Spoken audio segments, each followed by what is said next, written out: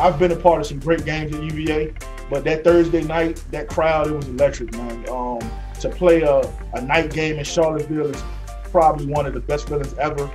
We were ranked 10th in the country going into that game. And there was a lot of talk about, well, Virginia hasn't played anybody. So Clemson was going to be our first tough test. One of the best plays I've ever seen in my life was a three-yard touchdown by Heath Miller. And he dove from like the two. But while he was in the air, he was switching the ball to his left hand and reached for the pylon. It's, it's definitely the best three-yard touchdown I've ever seen in my life. For the 2004 uh, Cavalier offense, that was our identity.